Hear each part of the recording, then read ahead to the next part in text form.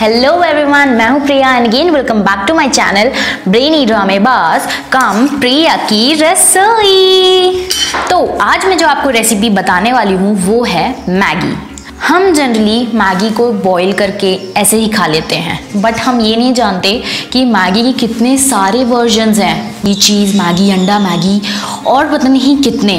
लेकिन मैं जो आपको आज मैगी सिखाने वाली हूँ, उसके लिए आप कितना पैसा खर्च करके एक ठेले वाले के पास जाते हो सिर्फ़ वही एक मैगी खाने। तो मैं आज आपको सिखाऊँगी कि बहुत ही सिंपल तरीके से आप वो मैगी अपने घर में कैसे बना सकते हैं। सिर्फ़ ज़रा सा टाइम निकाल करके और ढेर सारी सब्ज़ियाँ ला करके। आई नो मैगी का नाम सुनते ही आपके मुँह में पानी आ रहा होगा। तो इसीलिए मैं आपको ज़्यादा इंतज़ार नहीं करवा रही हूँ और जल्दी से मैं आपको ले चलती हूँ कि कैसे बनाते हैं वेजिटेबल मैगी। सो so, अब चले मैगी नहीं बनाना है क्या?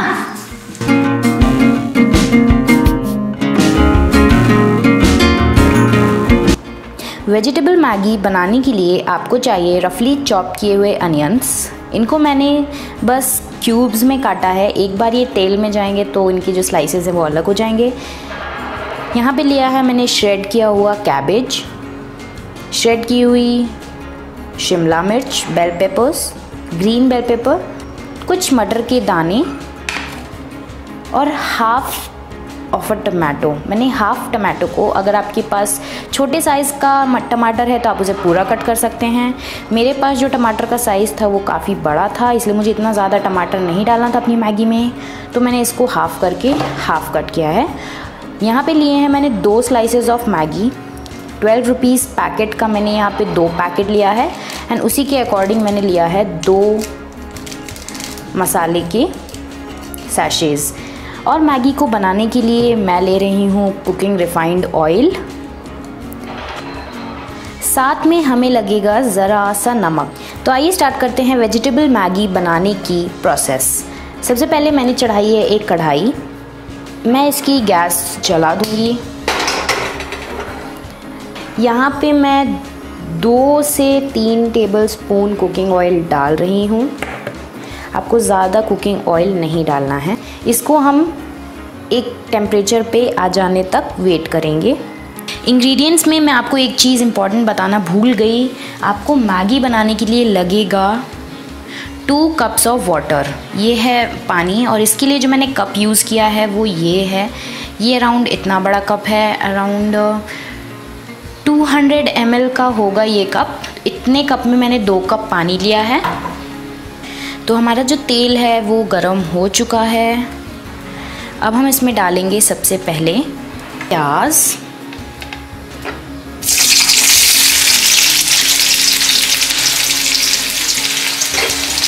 और इसको अच्छे से सॉटे करेंगे।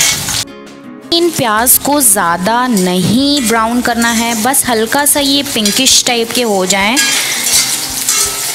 तब हम इसमें डाल देंगे अपनी अगली सब्ज़ी, वो मैं बताती हूँ क्या है। आप देख सकते हो कि ये अच्छा कलर बेबी पिंक कलर का हो गया है और जैसा कि मैंने आपको बताया था कि आपको इसे सिर्फ़ डाइस कीजिए क्यूब्स में, क्योंकि ये तेल में जाने के बाद ही स्लाइसेस बन जाएँगी। आप देख सकते हैं कितनी अच्छी स्लाइसेस निकल के आ गई हैं। तो ये थोड़ा सी बड़ी स्लाइस प्याज की खाने में अच्छी लगती है, अगर आप वेजिटेरियन हैं तो। बस इनको इतना सा ही चलाना है, इनको इतना सा ही टॉस करना है। अब हम इसमें डालेंगे अपनी नेक्स्ट वेजिटेबल विच इज़ मटर। मटर को भी हल्का सा टॉस कर दीजिए। थोड़ा सा दूर से चलाइएगा क्योंकि ये जो मटर हैं वो फूट के उड़ते हैं तो आपके मुँह में उड़ सकते हैं।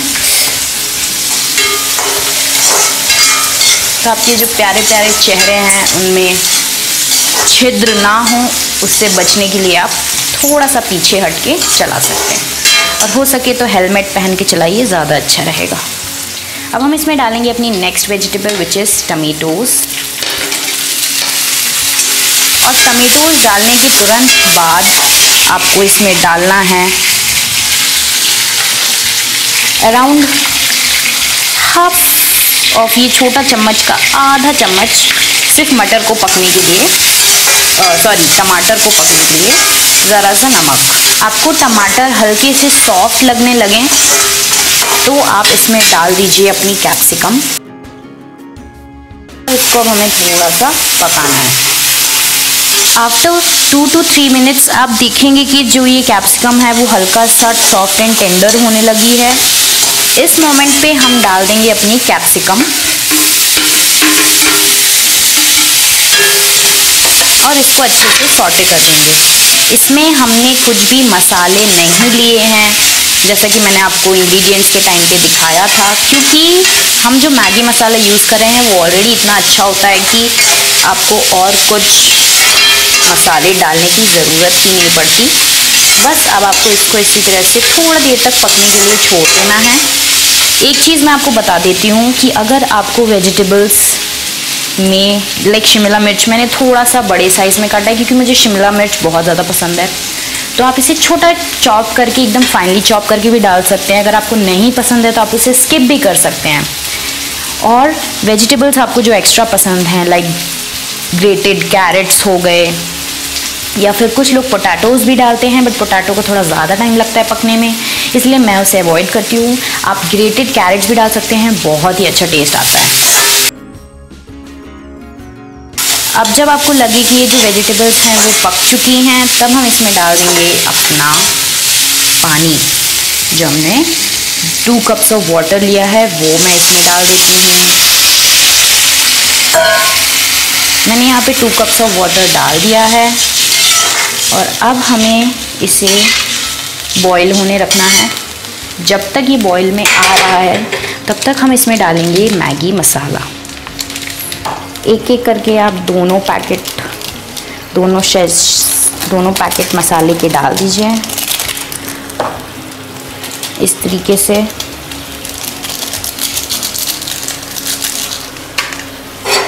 मैंने डाल दिए हैं अपने दोनों पैकेट मसालों के। अब इसको मैं लिटिल बॉईल होने दूँगी, ताकि जो ये मसाला है वो सब्जियों में भी अच्छी तरीके से इनकॉर्पोरेट हो जाए। अब आप देख सकते हैं कि इसमें हल्का हल्का बॉईल आना शुरू हो रहा है। जब ये बॉईल होने लगे, तब हमें अपने मैगी को इसमें डाल देना है। इस तरीके से आप थोड़ा सा इसे तोड़ करके डाल दीजिए। मुझे मैगी को स्लर्प करना बहुत ज़्यादा पसंद है, इसलिए मैं बहुत ज़्यादा छोटा नहीं कर रही हूँ इन पीसेस को। बस अब आप इसको इसी तरीके से छोड़ दीजिए और ये पक जाएगा।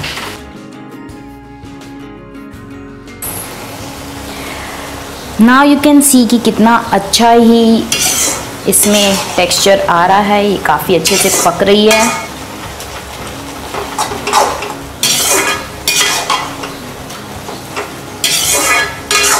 बस ये एकदम अच्छे से ड्राई हो जाए, फिर हम इसकी प्लेटिंग करेंगे।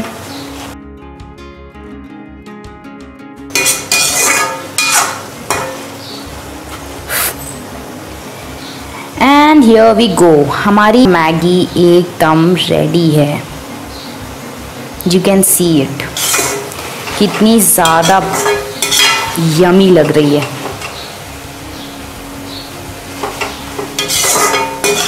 अब हम इसको प्लेटिंग करते हैं.